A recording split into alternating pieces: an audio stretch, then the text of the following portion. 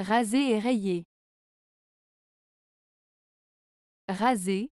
Raser signifie enlever complètement les poils, les cheveux ou toute autre substance qui se trouve sur une surface.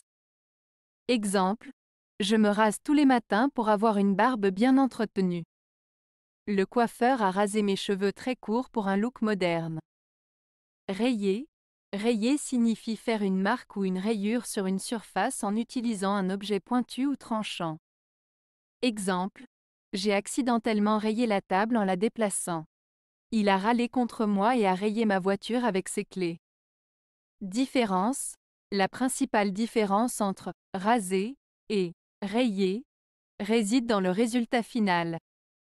Lorsque l'on rase quelque chose, on enlève complètement la substance présente sur la surface, tandis que lorsque l'on raye quelque chose, on fait une marque ou une rayure sur la surface sans nécessairement l'enlever complètement. De plus, raser est généralement utilisé pour les poils, les cheveux ou d'autres substances sur le corps humain ou animal, tandis que rayer est utilisé pour les surfaces inanimées telles que les meubles, les voitures, etc. En résumé, raser implique l'enlèvement complet, tandis que rayer implique la création d'une marque ou d'une rayure sur une surface.